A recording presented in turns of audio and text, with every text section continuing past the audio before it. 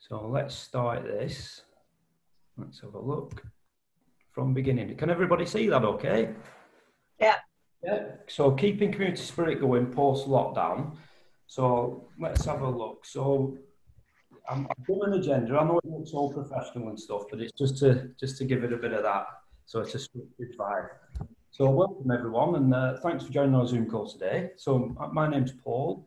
I'm in Manchester. I'm community network developer based in North England, so I cover all the North England. I work for Eden Project Communities.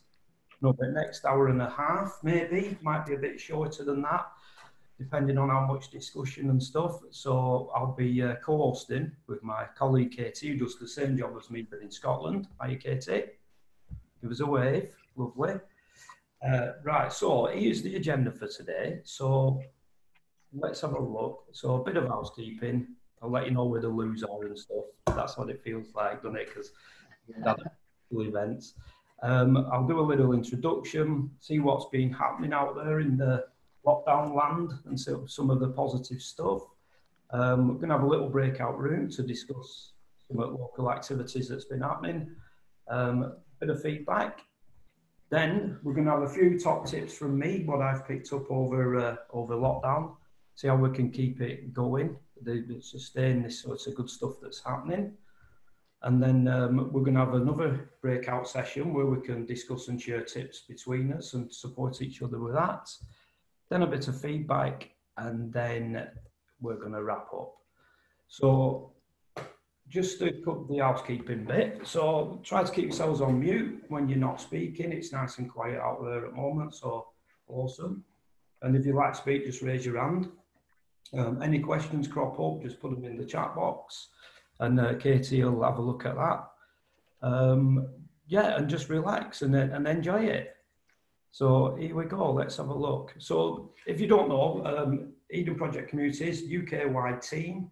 Me, Katie, I think Sophie's on the call as well. There's about 20 of us cover the UK. My, my most famous thing is the, the big lunch. Who's heard of the big lunch? Who's done a big lunch? Yeah, so um, and we are connected to Eden Project in Cornwall. That's the mothership. So we sort of spread their ethos and culture across the UK. So that's that bit. Let's have a look. So I'm just thinking we've got can people if they can just change the the name to where they are as well, maybe. Like I've got Paul in Manchester, Case in Edinburgh. That'd be nice. See where people are. Because how do we do that? Oh, you click on your photo you click on your photo and three little dots and it says rename. yeah, don't matter if you can. It's just a nice little touch. It's um, it's quite fun. So let's have a let's have a look. So that's who we are. Um, now then, so straight into what's been happening out there in um, in in UK in lockdown. So what one of the silver linings during this current COVID nineteen crisis has been the extraordinary wave of social solidarity that was swept through the country. So let's have a look at some stats on that. So last stat I got on this, three quarter million people signed up to help out our health services. Yeah, phenomenal. Oh, hello, Katrina, waving there.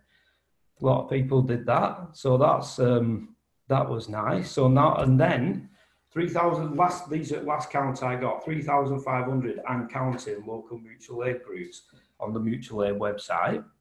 You again, Katrina. Wow. so, and more than two thirds of Brits are pledging to do more in the local area when the coronavirus pandemic ends. So I've worked that out at 66 mil.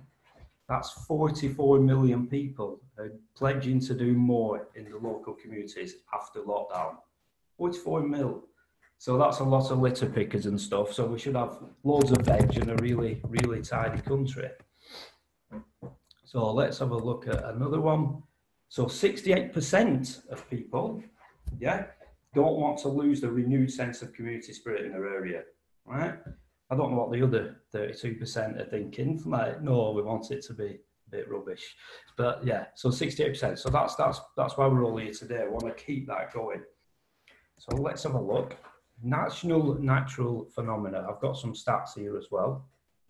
Just got me a little iPad thing. So this this page it uh, highlights a national example of what has happened across the UK that we couldn't dream of before. Anybody guess what it is? What's been going on? Anyone? I can't see everybody, but just shout out. Growing your own vegetables. Yes. yes. So um, let's let's look at the stats. So, but it's been, the being on furlough has give people time to do this, hasn't it? So the, we've created this like home growing veg revolution. I, I have a tiny flat, so I've, I've I've grown a pot of basil.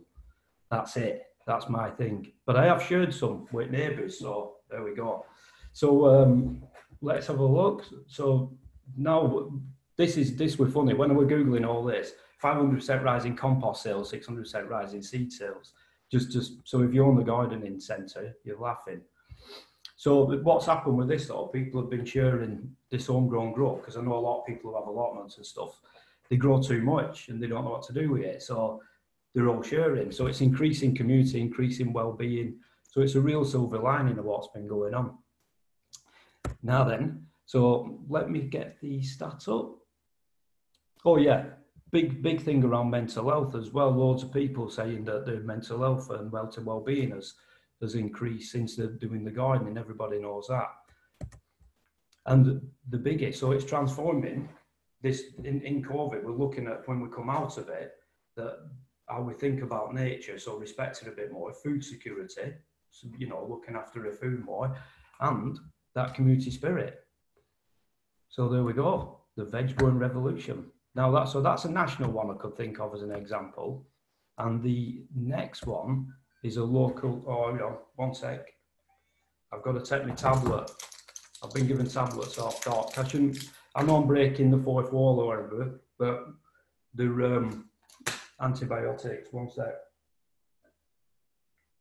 Sorry, the alarm went off. I'm, I'm being really strict with them to get rid of this infection. Now we need to know what sort of infection you've got, Paul. Oh, it's not COVID. I thought it was at first. It's um, I've had a severe allergy to something, so I'm on steroid tablets, and that, and it's caused an infection, and it's gone in under my eye. So oh. I should have been like a pirate today, really. You should have gone natural with colloidal silver. Much amazing stuff. What's this? Mm. Colloidal silver. Oh no! So yeah, I'm really anxious about having these tablets, and because I, I, don't like the big pharmacy, so Put, yeah. put, it, put it in the I'll put it in the chat. Thank you. This has turned into a little uh, session for me, hasn't it, to get me illness. Yeah. So you have you got a blocked tear duct? No, I've got I've, I've got like an infection at side of me. Oh, in your sinus. Yeah, yeah. Oh, okay. So there's a lot of room there, there as well as on in your forehead as well. There's yeah. plenty of space for it to go wandering. Oh, that's what I don't. I want. leave that with you. Thank you, but yeah. So anyway, back to back to the um, the, the good stuff going on in COVID. So Christine on the picture, I don't know, I don't know if she's in today or anybody knows her, but Christine, she's um, a volunteer from uh, Friends of Light Oaks Park in Salford, and obviously they do a lot of gardening, and they've got this teos that's lovely and they, they, they haven't been able to do that sort of stuff. So what she's been doing is learning how to write bids because she's had quite a bit of time. So she's learned how to write bids and she's been successful and she's won £6,000 from the government COVID sort of um, the, what they've been working with National Lottery Community Fund. So she got she got six grand, very nice. And here she is showing showing off. I don't think she got money in her uh, in her hands. It's not a tray of money.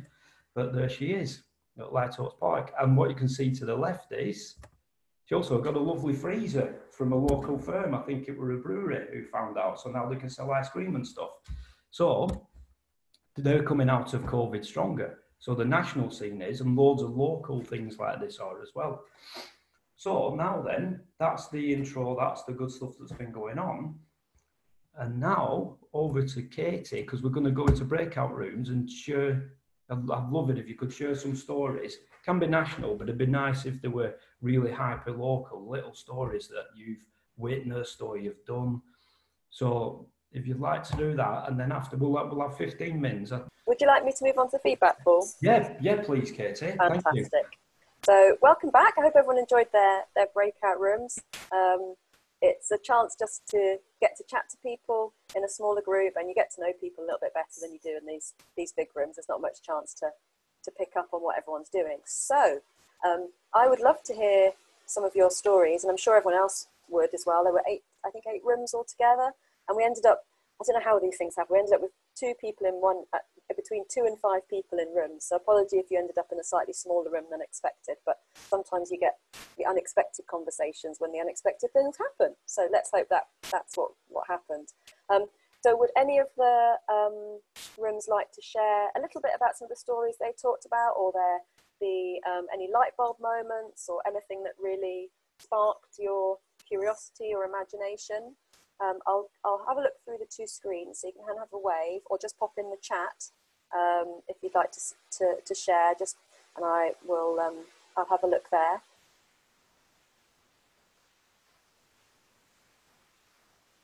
Was, was that you waving, Sue, or were you just, um, just tucking your hair? it's horrible when you get picked on like that, isn't it? Sorry, Sue.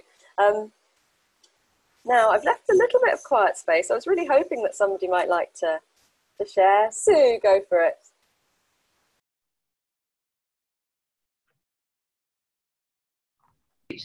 Hello? Oh, Can you hear me? Perfect. Yeah. Yeah, well, I was one that ended up in the two person group and we had a fabulous conversation. it was great, really nice. Um, I, I think well, I'm um, just talk for me in in uh, relation to to this. I, I'm I'm really quite concerned that it seems that lockdown grew all this, developed all this, and, and I, that's why I'm on this because I'm actually. It seems like some of the barriers beginning to come up again. You know, neighbours sort of just getting on with their lives. So, and um, we have a community garden anyway, and it, that that has worked so beautifully over the lockdown period, and it'll. I think people have used it a lot, and I love the veg idea and this veg art. That's made me. That's already got an idea for that um, and um, and those common spaces are just extraordinary. You know, the people get so much enjoyment from them. And um, I put out some rocks. I collect rocks and put some over there, intending to do a cairn of hope with local people, but I didn't get round to it.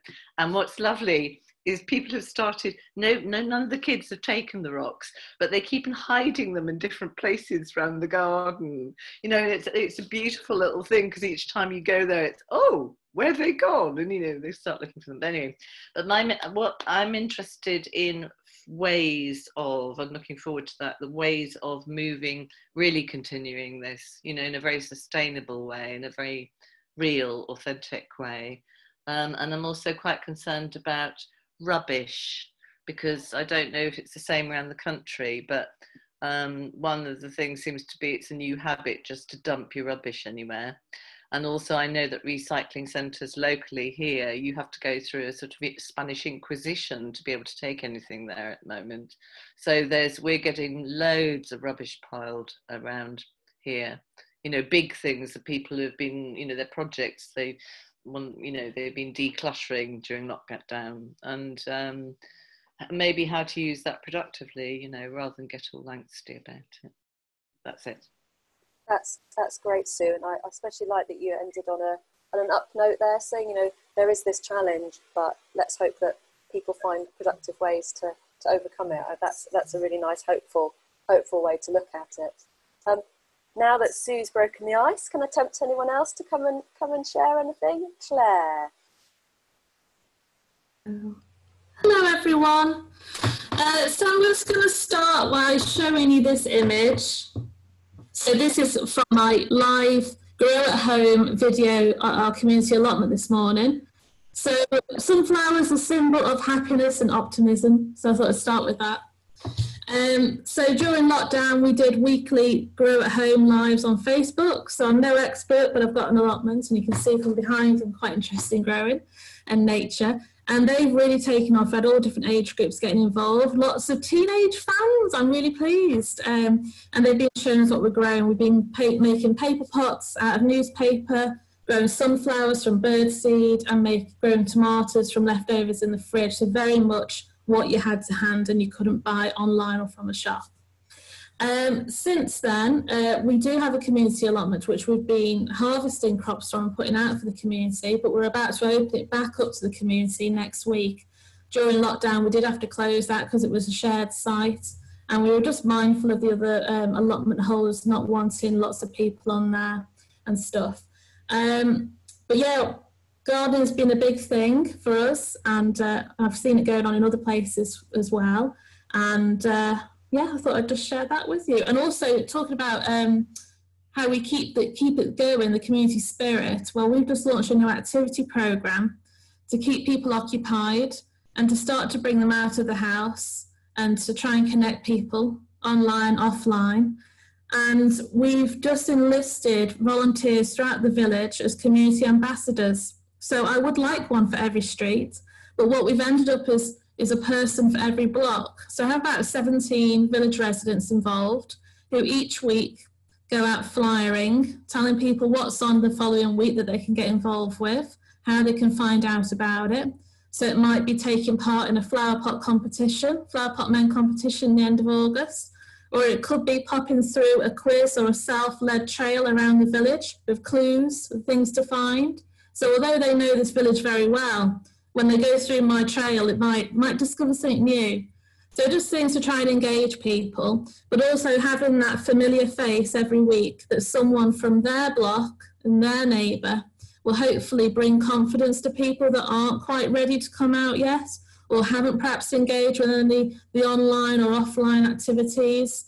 They might, I'm hoping, after a couple of weeks, ask who it is knocking on the door or putting the leaflet through and say, you know, I wouldn't mind getting involved with that, but you know, I don't want to go on my own or I'm not too sure about this or how many people are there. So having a familiar face and that point of contact, we're hoping is a way forward because of course we've noticed with a lot of our community groups that some of the volunteers have now started to drop off because they're going back to work and also they perhaps feel that the need isn't as great as it was um, or perhaps they're needed elsewhere or taken on other duties. But if you can try and keep a few, that's a good progress, I think. I'll finish it there. Thank that's, you. That's great, Claire. Thank you. Um, and again, ending on that um, that concern as well that we've we've talked about quite on a couple of calls before about how the informal volunteering might start to, to fall away again. Um, just at the moment when we like we'd like to keep all this all this going. Um, and that's something that we'll return to, I think, again on, on future calls about how we, we harness that um, again and encourage people to stay involved and connected. And also fantastic to hear that you're engaging teenagers, the Holy Grail, well done. Um, now, Jackie said that, um, Jackie from Swansea, Jackie in Swansea, um, would like to share. I can't see you on my screen, Jackie, so just un- unmute. Oh, there you are. Just unmute. There you go. Um, I sometimes have really unstable, when it's raining, I have unstable connections, so I turn my um, video off. Um, I was in a really fantastic group with people from Cumbria and, and um, West Sussex, I think. Was it West Sussex? Yeah. Um, Exeter, Swansea, and I can see Lee Ellery is from Swansea as well.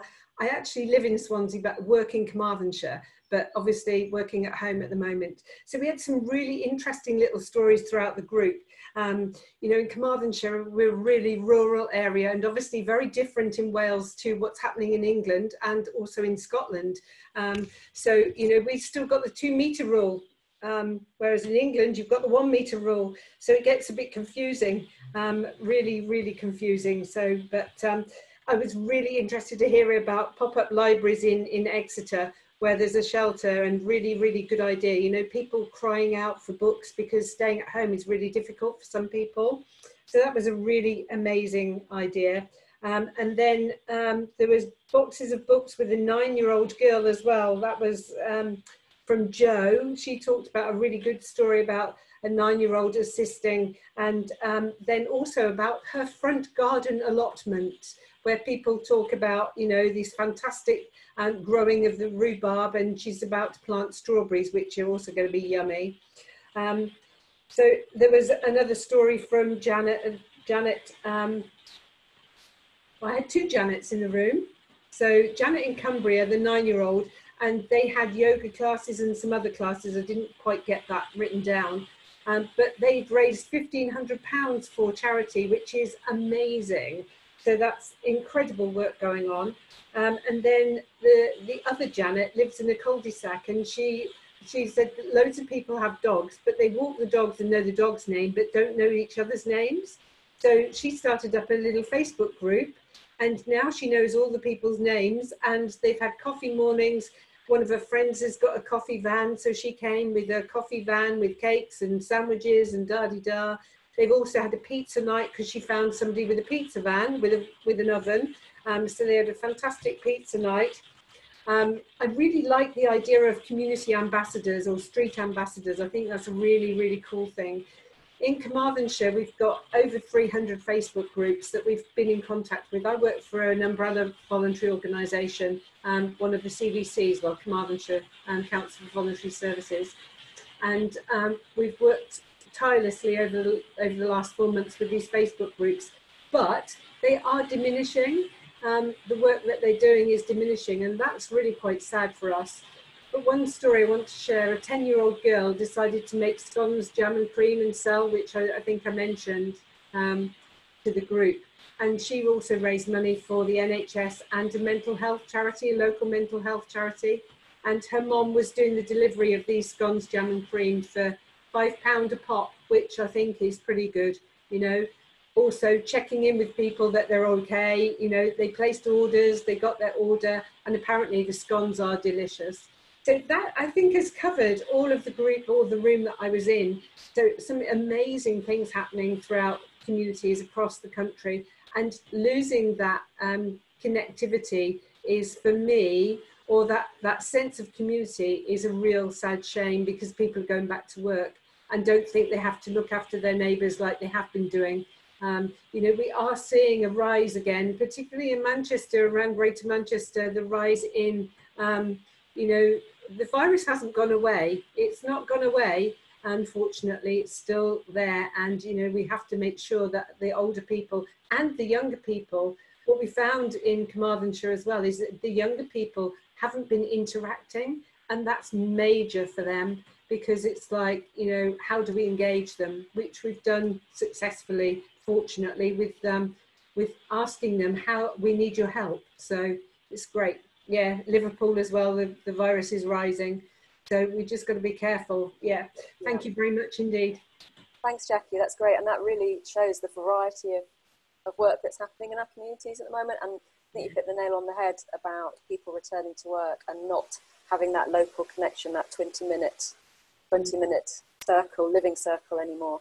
Um, everyone's been so inspired by the people who've spoken already that I've got loads of volunteers now. It's fantastic. So I think what we'll do is, if it's okay, if everyone, um, I've got um, Madam Zucchini and Gert and Katrina who would also like to contribute. If we could keep it to about a minute or two minutes each, that'll be fantastic because I know Paul's got a few other things that he'd like to share with you.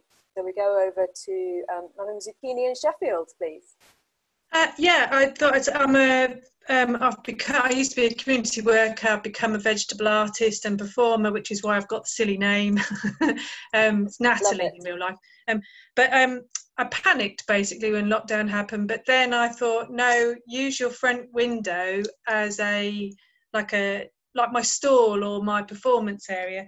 So I made. I've been making vegetable characters and creatures in my window every day. So must be, I don't know, 120 odd now. So just to show you, today, where is he? This is uh, Romanesco Polanski. It's a bit niche. It's a bit niche. So, uh, and, and I was saying in the group, I like hearing the parents outside trying to explain my random sense of humour to people. But I do do Peppa Pig sometimes and things like that. So that has been for me, it's kind of kept me sane every day I have to create the creature, people react to it. People even actually sometimes have shoved a fiver through my door, which initially I found a bit embarrassing, but now I'm thinking, no, it's fine, take it. so that's, that's, yeah, that's what I wanted to say really.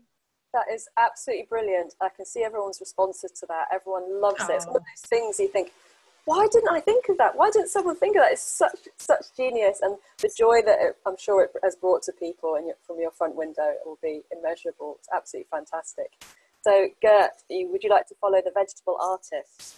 Uh, yes. Uh, hello, everybody. We had uh, Noreen from North Island, Northern Ireland, and Emma from Cumbria in our group, and, and, and we shared a few good projects. Uh, I just uh, talked of some which which we haven't uh, uh come across yet. Uh, rock snake, uh, combining a bit of of rock painting and putting these rocks together in a, a, communal space. I think around the village hall, it was in that case. So it's a bit of a takeoff from from the other person talking about uh, uh, the the rocks. I think a rock snake can easily move as well, and that might be uh, uh putting in a bit of creativity by painting rocks um, as well we have a valley park nearby and uh, we tried uh, or, or, people tried to put a little bit of surprise in there each day so that uh, it kept attractive for, for, for children who were going with their parents the same walk day after day after day. And then they could explore something and find something and take a photo. And uh, these photos then were shared online. One of our concerns was we discussed about that not everybody is online how to reach out to those who are not online. Um, little laminated posters on lampposts uh, were quite good alongside obviously flyers you can put through through people's doors so that at least people knew some telephone numbers to, to contact.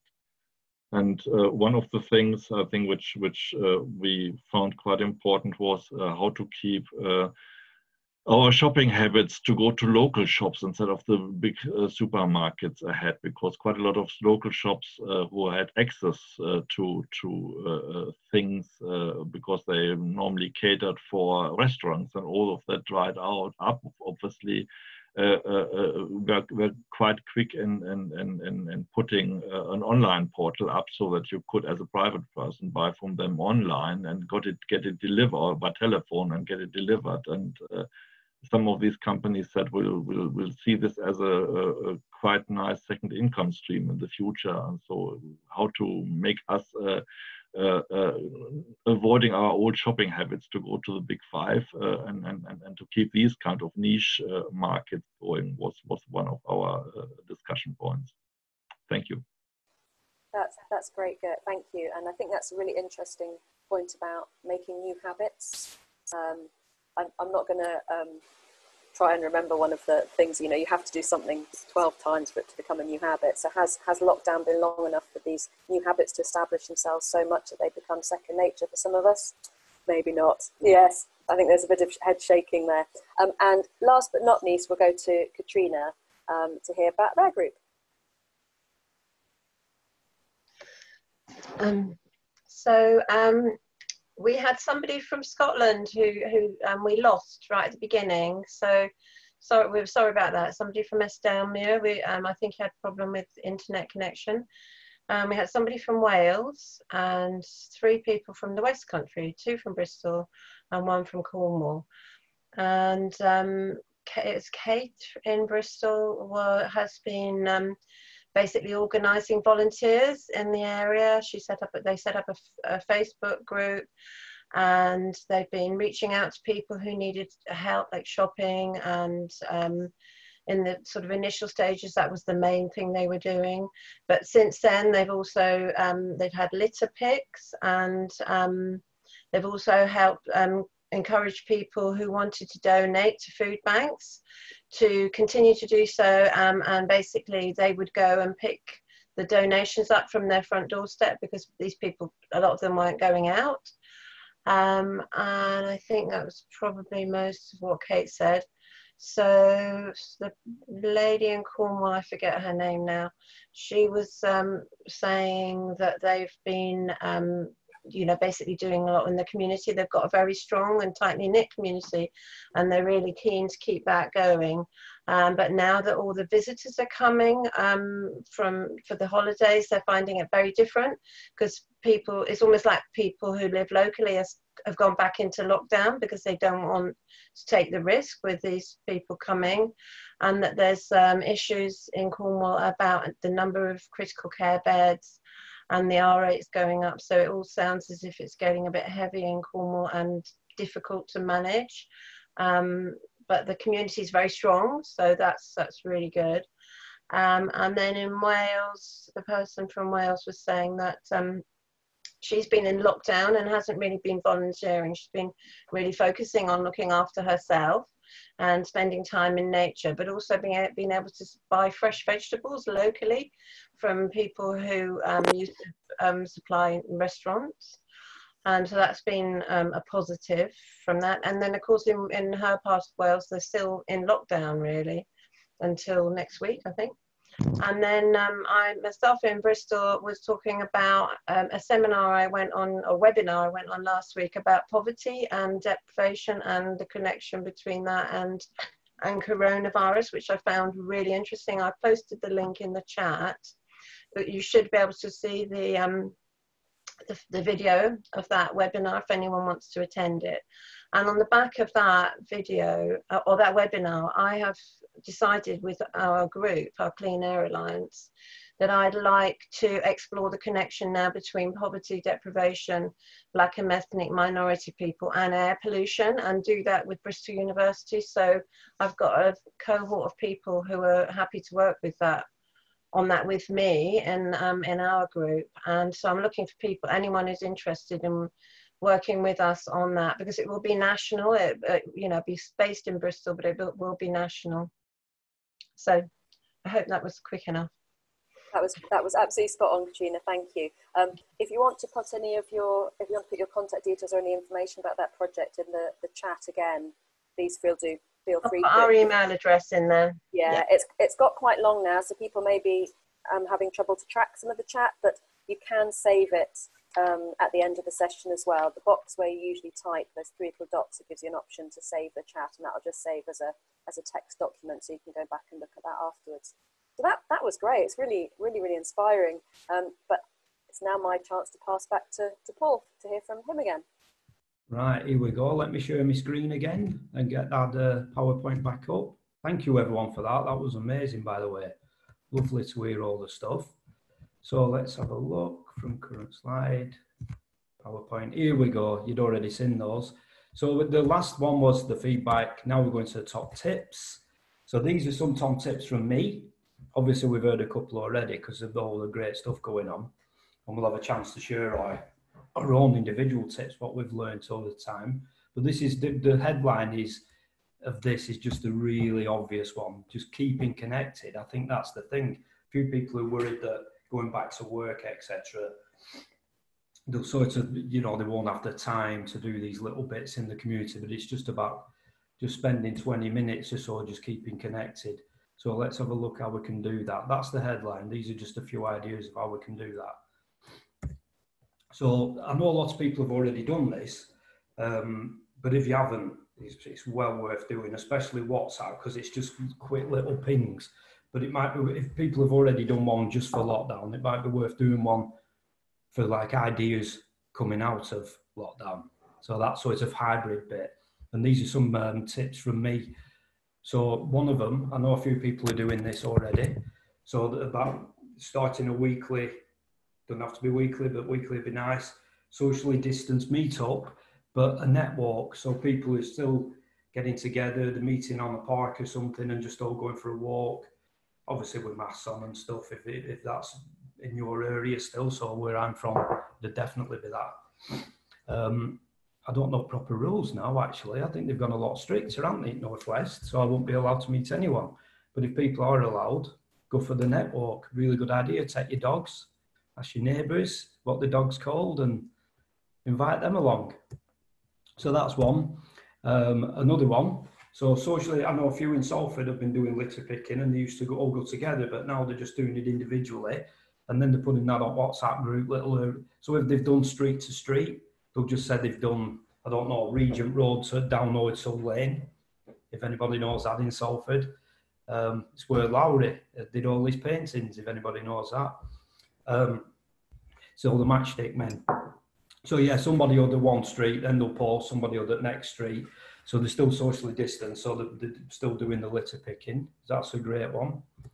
Then getting back to the veggie. So a, a few people I know, instead of doing it, they're still doing in the gardens or on the windowsill or whatever, the balconies, but they're also, they're getting a communal space and they put the plants in there as well. So they keep keeping connected like that. So even though they're doing individual stuff, keeping connected by having a nice little community garden. And that could be somebody, if, somebody, if you know someone who's got a few quid and they've got a big, a big backyard or a big garden, very nice. And they don't mind sharing it. Right. Now then, creating a mutual art project. again, I got this idea from uh, Manchester. There's a lot of murals knocking about, and so one of them, somebody's actually done. They've drawn the outline of the mural, and then people go along and just fill bits in, bits of colour. So again, it's keeping people connected like that. Thought that were really nice, and it comes along over the weeks, hopefully leading up to uh, being able to be out of lockdown. And part of the art stuff as well is the stones. Somebody mentioned rocks before, but people have been painting stones and putting them in, in park and they're nice for, to go along and visit. And again, keeping people connected. Now then, I quite like this one. Um, I know I know people who I know loads of people. No, but it's I don't. It's just people who, who's told me these ideas. And when when I said I'm doing a workshop on this, and they're like, "What about this?" and "What about this?" So creating an online street scrapbook. So it's sharing local histories of that street and families and dogs' names, cats' names. I don't know but and loads of positive stories. And again, coming out of uh, coming out of lockdown, that'd be nice just to continue that sort of scene. So Facebook's nice for that.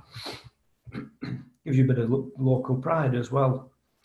Um, and then this is a bit more practical stuff, looking out for latest funding opportunities. On my next page, I'm going to show you a few of them, and like I said, we're going to share this. So there's some really nice little websites to have a look at to get funding and then that leads back to the communal veggie garden stuff. But you know, if you if you need a little patch of land doing up or whatever. So let's have a look. And the last one is loads. Just just I didn't want to do like Google loads and then nobody could add theirs. So these are just from me. Um, the last one is online training. There's loads of it out there. And the, again, the next page I'll show you, and that's really good for people to so to be doing some training they're only short courses, a lot of them, but they're really good, really worthwhile doing. So this next page is the, this is all the web links. So the top one is obviously Eden Project Communities one. So that's our community action response page. So that I have a bit of an explanation and I want to do the official line here just in case I miss something. So the community action response is led by Eden and our partners and it's uh, from different sectors and the and the, their aim is to sort of join these partners together and encourage everyone to do what they can to support their communities and neighbours, um, particularly um, people who are vulnerable and isolated. So that's the top one, well worth a look. The next one, the National Lottery Community Fund. I don't know how, how many people have applied to that. Can't see screen. Give me a little land up, put in chat if you've applied. Tell me what you think. Because my other half works for lottery, so she'd love to know. she's actually a researcher, so it, good or bad, she, she likes it, so she can change it. But they've done the applying for emergency funding. Um, that's the link in England, but there is other links to stuff. I didn't actually know I copied that one. But if you just go on their page and find it. So Christine from Salford, who, who got the um, £6,000, that was from that fund. And apparently it's really easy to do, I think. Then there's the My Community page. So that one, when you when you go on that, it's just I don't know whether you know these, but really good. It's just a database with loads of info, funding, courses. Also, it's you just put put what you're searching for in there, almost like a Google for community stuff. That's really good.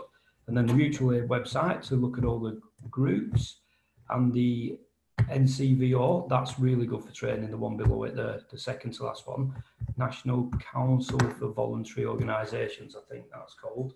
I always forget.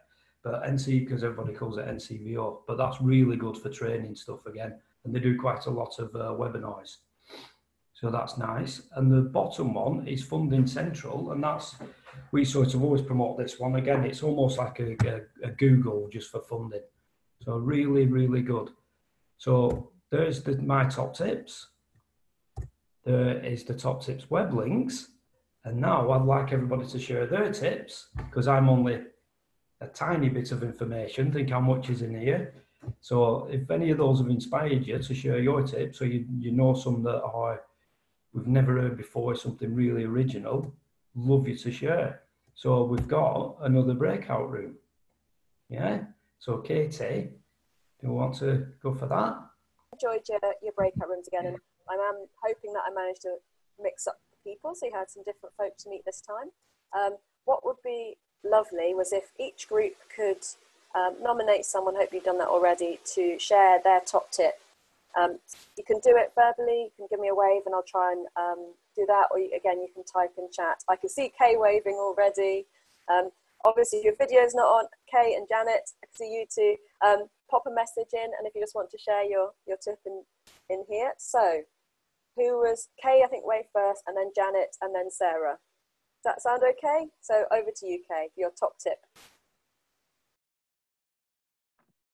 Hi, sorry, I couldn't unmute it again. Uh, yeah, I was in room one, and our top tip is keep it local. So buy local, support local. Um, I'm in Cornwall, and we found local businesses, family run, a lot of the time were delivering. Even our local DIY store was delivering throughout lockdown. So you'd, you'd bring up, put your order, pay, and then they drop it off at your door. Um, and so now um, I live in a small community of 300 houses. Our shop delivered to us, you know, even though it's not right in the middle of us, um, we still we're in lockdown. They delivered to us, so now we're using them more than we perhaps did before um, to support them to say thank you, and, and and that's you know the local businesses supported local communities. It's now time for local communities to support local businesses. That's that's a lovely little soundbite to finish on, isn't it? I like that. Thank you very much, Kay. Um, Janet, I think was was it Janet in Cumbria next? Hi. We uh, actually decided on two top tips, one each. There was only two of us in the room, so we had plenty to chat about. So one of them is if people have got the demographics where there's a lot of older people, um, certainly we have with our helpline, hit your pharmacies, get the numbers out in the pharmacies. The farm, the, the older people respect the pharmacist like their doctor. So whereas they don't want to accept, um, accept advice, they're too proud. If the pharmacist gives them a number and says contact that, they will do it. We've had an amazing, we've helped over 500 people through one helpline with it.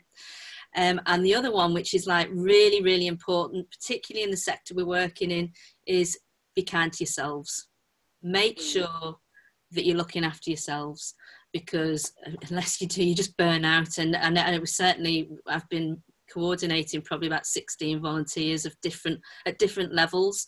And one thing we've done is regularly check in to make sure we're all looking after ourselves. So just remember that because we all look after everyone else and forget to look after ourselves. So that's our top tips. I'll you. let you away with two because they were both so good. Thank you, Janet. So over to Sarah in, I'm thinking Cambridge. I said in Cambridgeshire. Um, so we, I was in breakout four, I think, with Emma and Noreen, um, and we ended up by deciding that actually you need to bring some normality to the people living there, rather than always expecting them to go out and access um, access it elsewhere. So for some people, it is being being socially distanced and being isolated and locked down is actually their normal life. And I think we've often forgotten that that these people are hidden, and um, and we've all sort of we've, we've all had a taste of how that is now and so we can now think, okay, so bringing some normality. Noreen in um, Northern Ireland was talking about the parades and how they and the people um, in the villages were actually sitting in their front gardens and the parades were going past. Um, so they actually brought them to the village rather than expecting everybody to go into the town to, to see them. And so, and, and for them, the parades is very, very normal. So it, it still felt like a bit of normal life. So um, that and thinking outside the box were our two top tips. Sometimes you've just got to put it out there and see what happens. That's absolutely fantastic. Thank you, Sarah. I'm going to let you off with two as well. So if any of the remaining groups would like to have two tips, um, I might just might just squeeze that in. Um, um, is there... Oh, Joe, sorry. would you like to? yeah, who was who was next? I think that was all the hands I saw so okay. far. I don't want to queue jump. Rosie's got a hand up, but if we have Rosie after Joe, that okay. would be great. That's fine. So um, two of our group have had to leave because they've got meetings. So Lindsay from Blackpool and Kiri from Bolton. Um, I was in with Misa, who's uh, I'm not sure who you work for, but you're a community. Hold on. Community builder. Oh, they a community builder. Oh, I need to talk to you. Yeah. um, basically, I, we were talking about food parcels.